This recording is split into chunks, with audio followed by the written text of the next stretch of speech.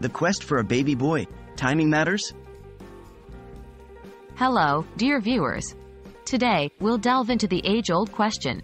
Is there a specific time of the year that increases the chances of conceiving a baby boy? Let's dive into the science, myths, and beliefs surrounding this intriguing topic. What does science say? According to most scientific studies, the sex of the baby is determined at the moment of conception by the type of sperm that fertilizes the egg, either X for girls or Y for boys. This is determined by the male's chromosomes.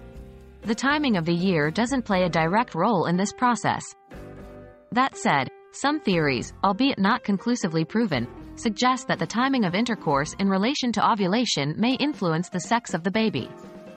The idea is that Y chromosome, boy, sperm are faster swimmers but don't live as long as X chromosome, girl, sperm. Therefore, having intercourse closer to the time of ovulation might slightly favor the conception of a boy. What about historical and cultural beliefs?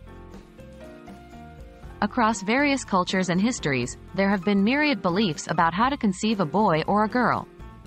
For instance, lunar calendars. Some believe that conceiving during certain moon phases can increase the chances of having a boy.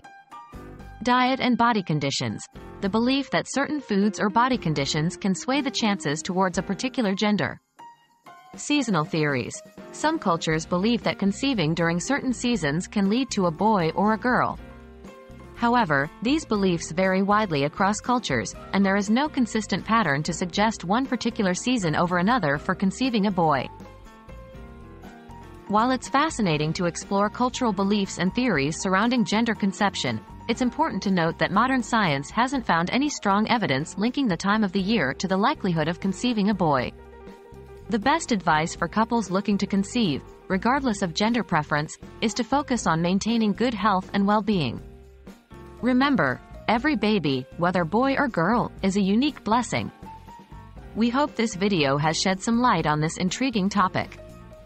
Stay curious, and see you next time.